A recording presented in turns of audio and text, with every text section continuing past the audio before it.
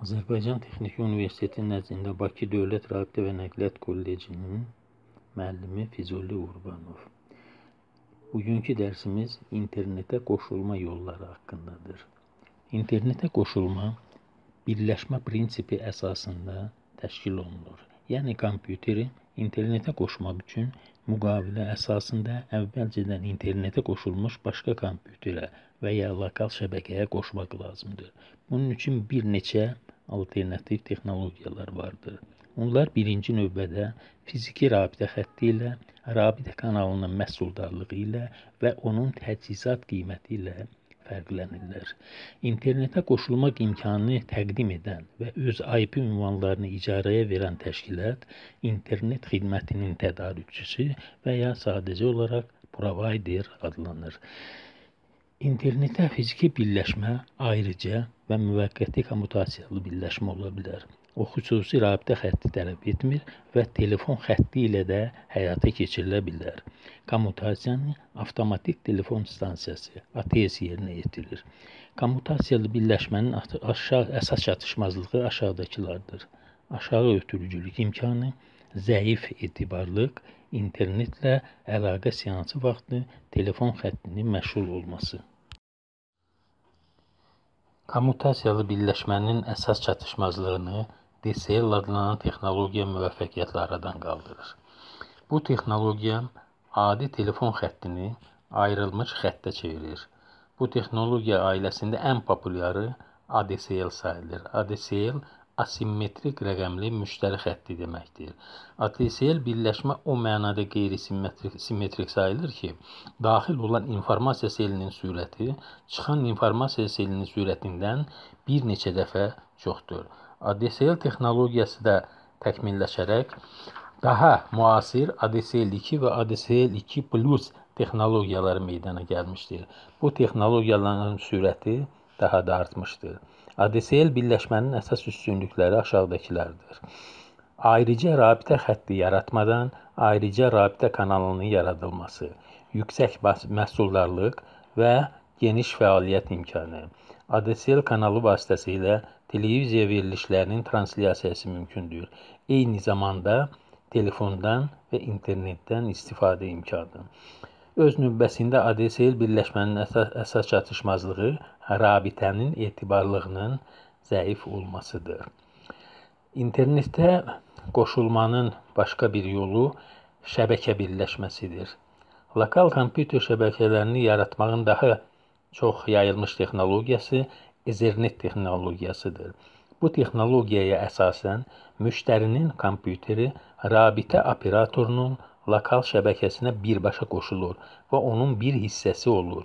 Burada siqnalı daşıyan mühit kimi koaksial kabel, volokno optik kabeli və ya burulmuş cütlük naqilindən istifadə olunur.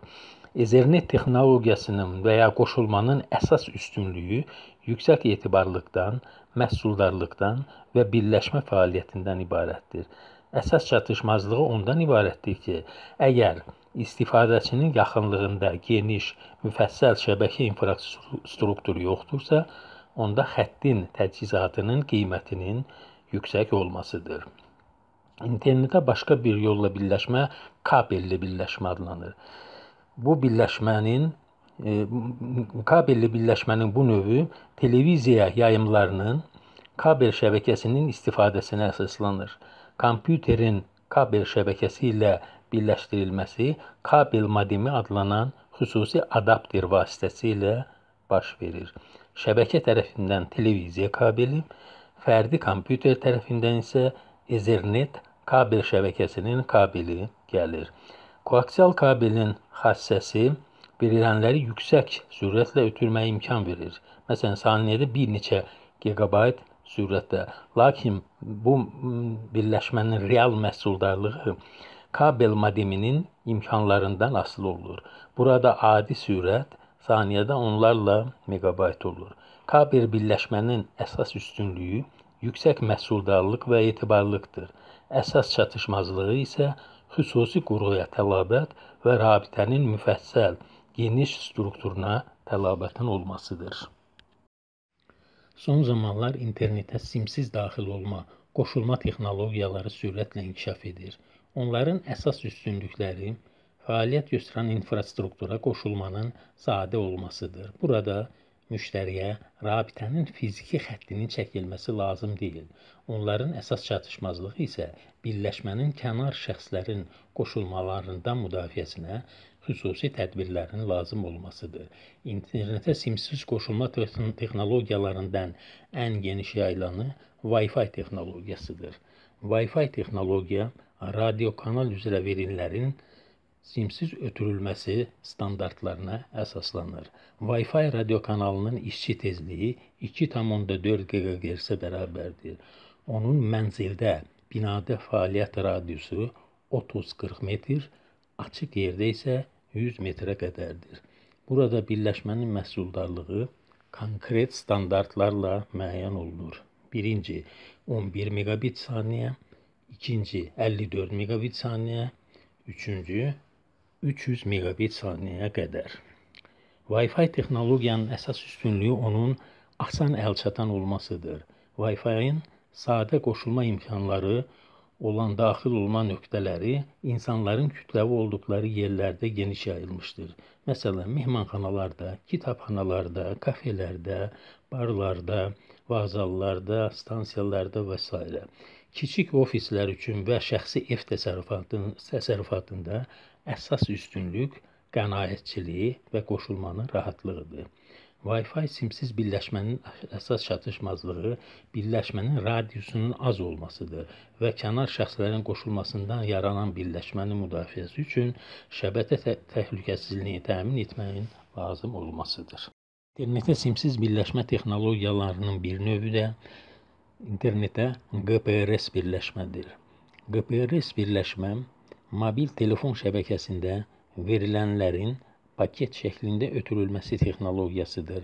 GPS birləşməni quraşdırdıqda mobil rabitə operatoru müştərinin radio telefonuna daimi və ya müvəqqəti IP ünvan ayırır. GPS birləşmədə real məhsuldarlıq həm şəbəkənin cari zamanda yüklənməsindən asılıdır, həm də operatorun iş siyasətindən asılıdır. Belə ki, əksər hallarda mobil rabitə operatorları verilənlərin trafikindən çox danışıq trafikinə üstünlük verirlər. Ona görə də birləşmənin real məhsuldarlığı aşağı düşür. GPS texnologiyanın əsas çatışmazlıqları bunlardır. Birinci, birləşmənin zəif ötürücülük imkanı, ikinci, etibarlığın az olması, üçüncü, daxil olma imkanının az olması. Lakin daxil olma imkanı bu texnologiyanın əsas xarakteristikasıdır. İnternetə GPS birləşməni o yerdə istifadə etmək olar ki, orada rabitənin heç bir stasionar infrastrukturu yoxdur.